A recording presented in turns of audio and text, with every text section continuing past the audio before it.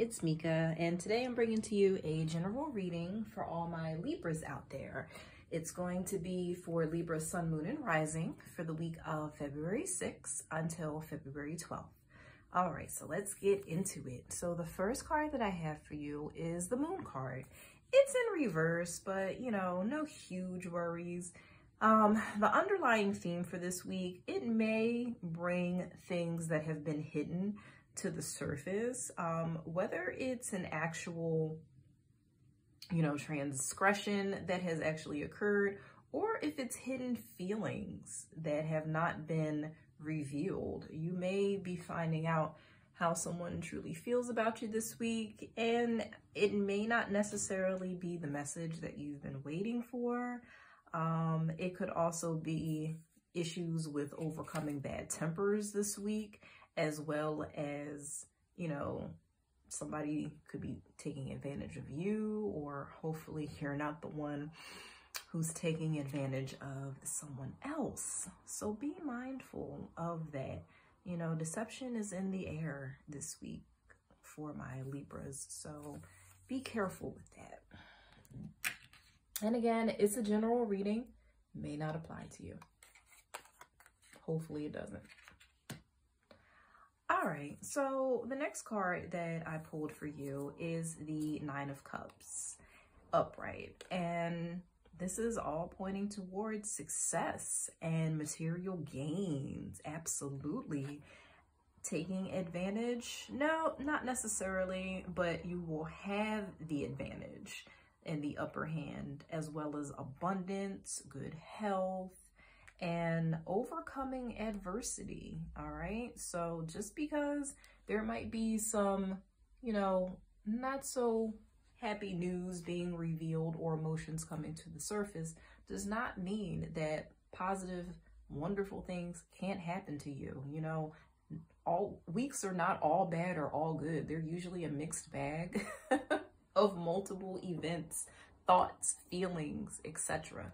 All right. So the Nine of Cups is definitely a good card to have in the upright position. So I'm loving it. The next card that I pulled for you is the Emperor. And the Emperor card in reverse is pointing towards some immaturity going on, indecision, you know, failure to control petty emotions, and you know, whenever this comes up, I just say, you know, don't be petty. Don't be spreading gossip. Try to treat people the way they treat you. And if you've been allowing someone to take advantage of you, then now was definitely the time to put an end to it. But don't do tit for tat because that just builds up bad karma.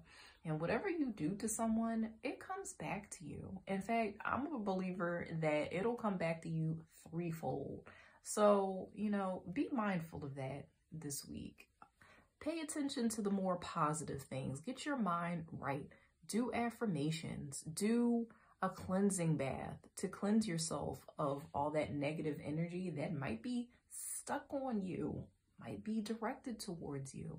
Because you want to be in a place where you can accept whatever blessings the universe has for you this week. I mean, look at this girl in this card, you know? She looked like she chilling out in her yard. Looked like she had a few too many drinks, but hey, you know, it looked like it did her some good, okay? So you want to be in a good frame of mind this week. And again, whatever negativity comes your way, you want to be able to handle it, all right? All right, so the next card is the Page of Pentacles. And the Page of Pentacles upright is hinting towards deep concentration, scholarly work. So you might be in school, you might be taking some courses, your job might be putting you in some trainings this week. Um, you're just in an all-around do-gooder phase, or there might be some do-gooders around you and bearers of news. Could be good news, could be not so good news, but whatever it throws your way, just know that you can handle it. All right? It's got you. It's got you. All right, so moving on. The next card, next card, not the neck card. Ugh, sorry, my neck is bothering me. I need to do some yoga myself and get some stretching. And I need a massage too. Um, the luck card. You are right to be strong and optimistic about the opportunities of head. See, I mean, it doesn't get any better than this.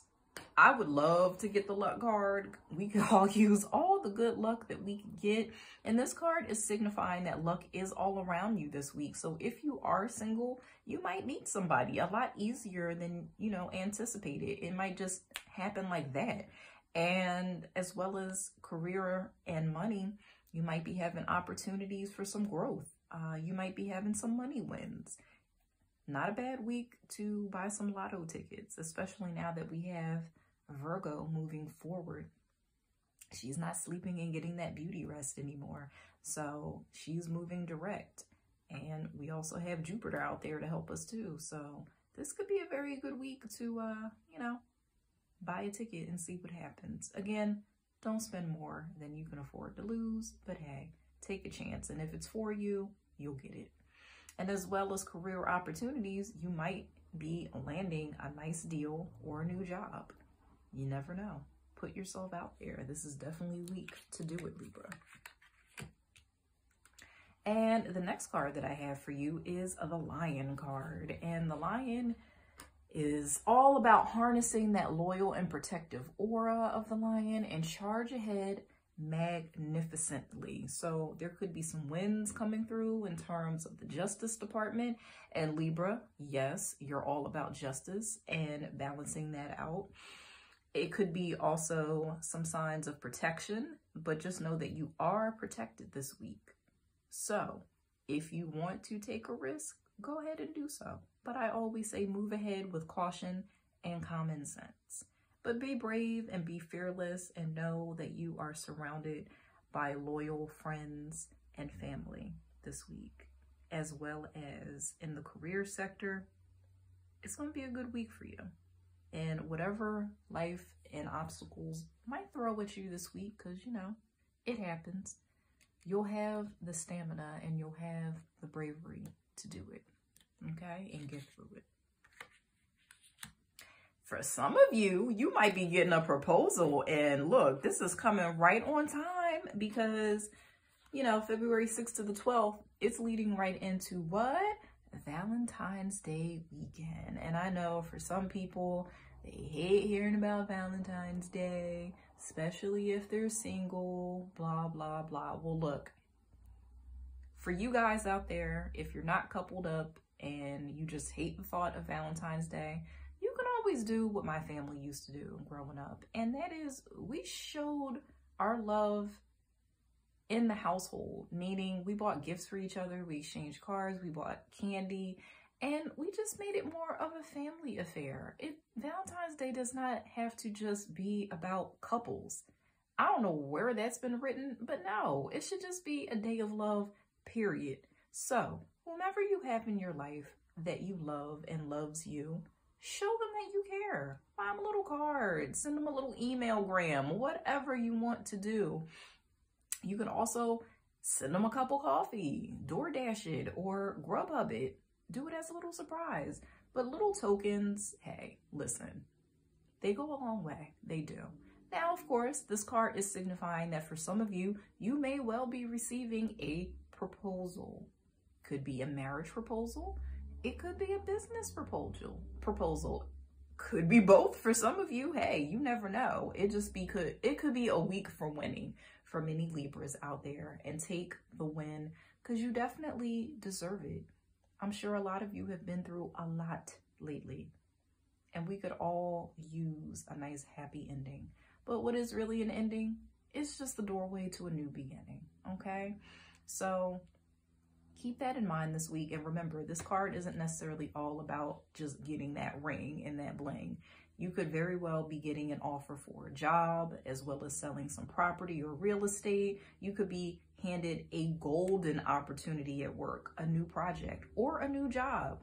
You could be making some money off of your stocks. You never know. All right? So don't just be all doom and gloom if you're single.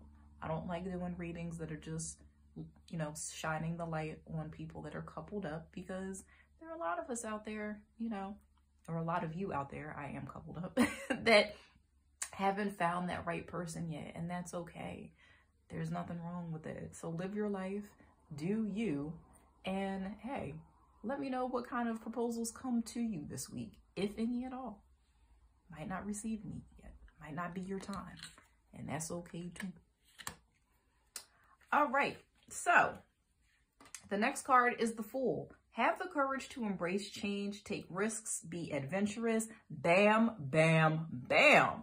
So I love the fact that this card is showing up along with the proposal and the luck card and the page of pentacles. So some of y'all are definitely having a blockbuster week, as I like to refer to it. Take that risk. Be bold. Don't be afraid. If there's something that you've been wanting to launch, definitely now is the time to do it while we're in that phase between the new moon and the full moon. Plant those seeds, all right? So you can get that growth going on. If there's something that you want to do to reinvent yourself, like a new job, go for it. Touch up that resume. Get a new LinkedIn profile. If you have a LinkedIn profile, touch it up. You know, spruce it up. Make sure you're reaching out to more people and connecting and networking. You never know. Seriously, between LinkedIn and Facebook groups for specific hobbies or professions, there's so much networking going on online. It's insane. So just meeting the right person at the right time can be very life-changing, okay? So this is definitely all about taking risks this week, and you have the support of spirit and the universe behind you. And also the astrology is pointing to it as well, because again, two planets that were holding a lot of us kind of not captive, but holding us up, Mercury and Venus, they were both retrograde at the same time. And that just sucked. it really did. And Venus was asleep for 40 days, starting December 19th up until January 29th. So yeah, that was holding up a lot of people in terms of money, love, and even beauty if you were planning on giving yourself a makeover, as well as Mercury. Mercury sleeping equals cancellations, scheduling mishaps, messages not getting delivered, and a whole other array of headaches. But we don't have that anymore. We have that green light. So utilize this week, whatever you want to start, do it.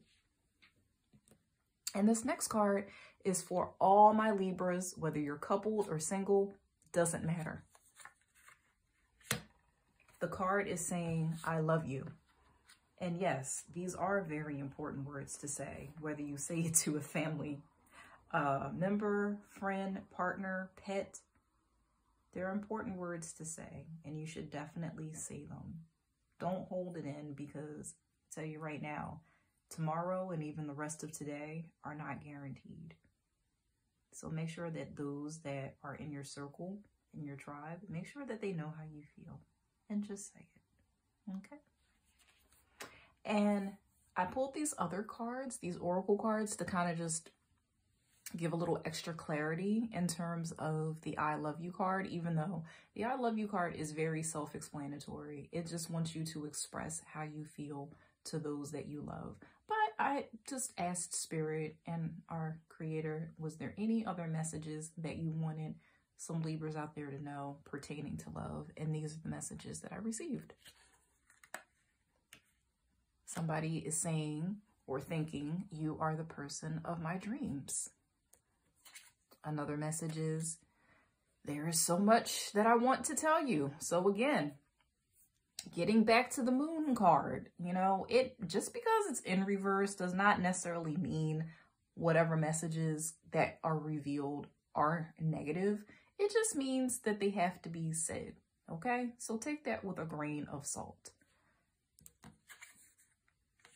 and please be patient with me. Okay. So again, I'm looking at the proposal card after I read that and it's, you know, for some of you, you might feel that you're ready to move forward while the person that you're with may not be. So that could involve a conversation that needs to be had to figure out what you guys want to do next. All right. Well, I hope that you enjoyed this reading, Libra. I really enjoyed doing it for you. I appreciate my audience. So, if you haven't done so already, please like, share, comment, subscribe. I truly appreciate it and I am grateful for you. So, until next time, bye bye.